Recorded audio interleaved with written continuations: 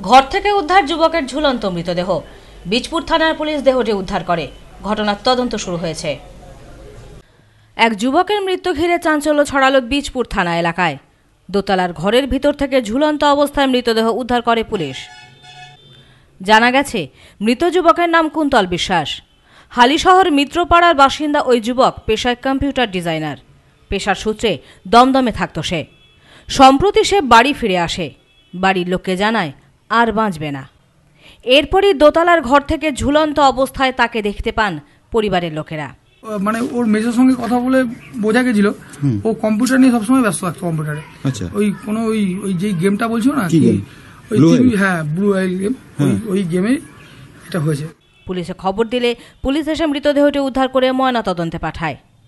পরিবার ও স্থানীয়দের অনুমান ব্লু হোয়েলের মতন মারণ গেমে আসক্ত হয়ে আত্মহত্যা করেছে সে।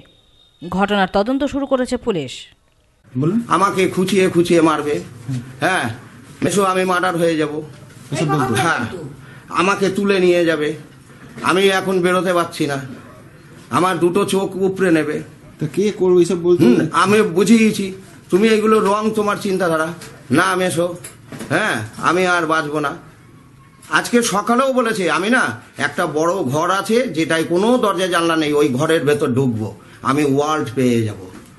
হ্যাঁ আমি বিশ্ব ঘুরে বেড়াবো। তো এগুলো কেন বলতো জিজ্ঞেস করেনি হ্যাঁ করেছি। কোনো রকম ইয়ে নেই। Bureau report news romance land Bijpur.